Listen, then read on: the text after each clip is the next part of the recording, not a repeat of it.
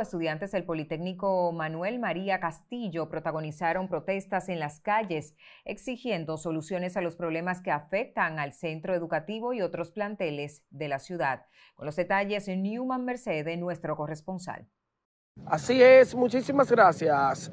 Por segundo día, estudiantes del Politécnico Manuel María Castillo realizan protesta exigiendo el traslado del director Nicolás Vázquez de este centro educativo. Nuevamente sale a las calles exigiendo la, respuesta de la problemática del Politécnico Manuel María Castillo y otros centros de aquí en nuestro municipio de San Francisco de Macorís.